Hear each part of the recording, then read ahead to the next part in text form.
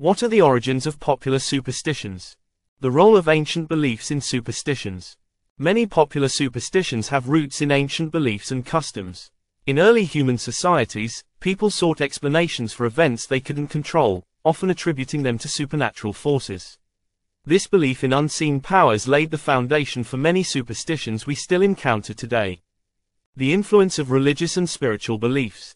Religious practices and spiritual beliefs have significantly influenced superstitions.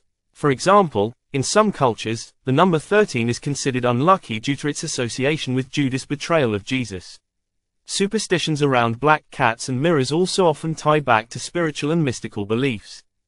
The fear of the unknown and unpredictable. Humans have a natural fear of the unknown, and superstitions often emerge as a way to explain or control uncertainties.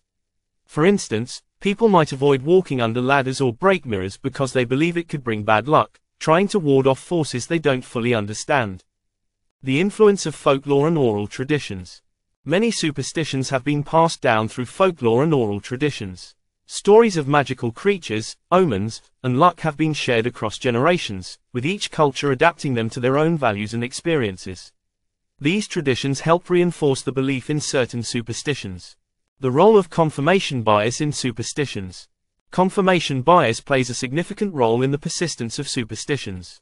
When people experience something they believe is connected to a superstition, such as an unlucky event after breaking a mirror, they reinforce their belief. The human tendency to notice patterns strengthens superstitions over time. Superstitions and human psychology. Superstitions often arise from the human need to feel in control.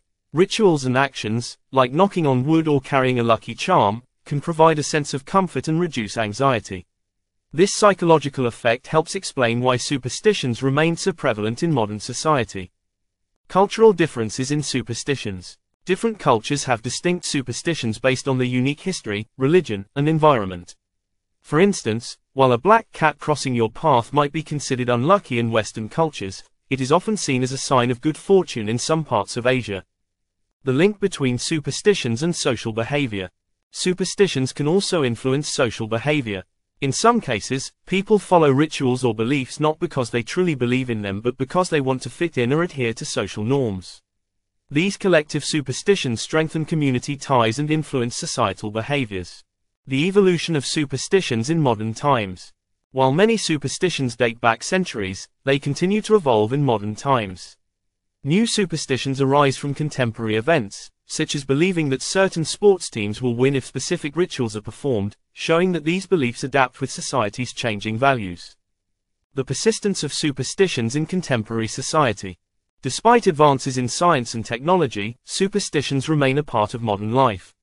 They provide comfort in uncertain situations, like believing that carrying a lucky coin will ensure success. The enduring nature of these beliefs demonstrates their deep psychological and cultural roots.